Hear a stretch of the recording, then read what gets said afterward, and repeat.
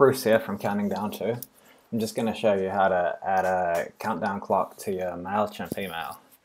So if you're watching this, you're probably already familiar with MailChimp. It's um, pretty cool email marketing software, and they have this editor you can use to compose your emails that we're looking at here. Uh, so I'm just going to show you what you'd want to do if you wanted to add a countdown clock to your email.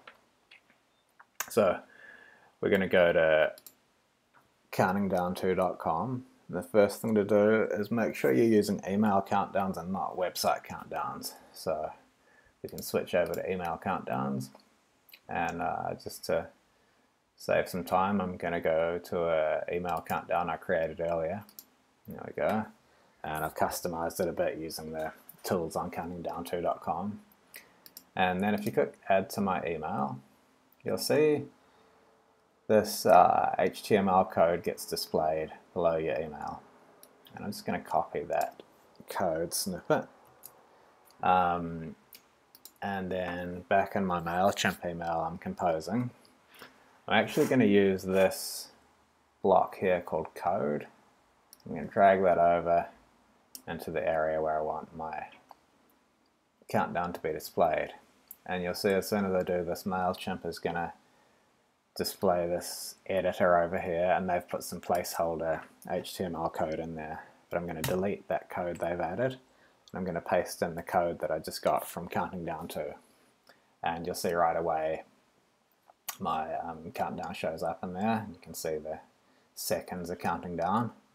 Um, little bonus tip, if you don't want it to be center aligned, uh, we actually, because so many people like them centered, we actually put this into the HTML code by default, but you can simply delete that bit where it says text align center and then it will display on the left which might look better in some layouts.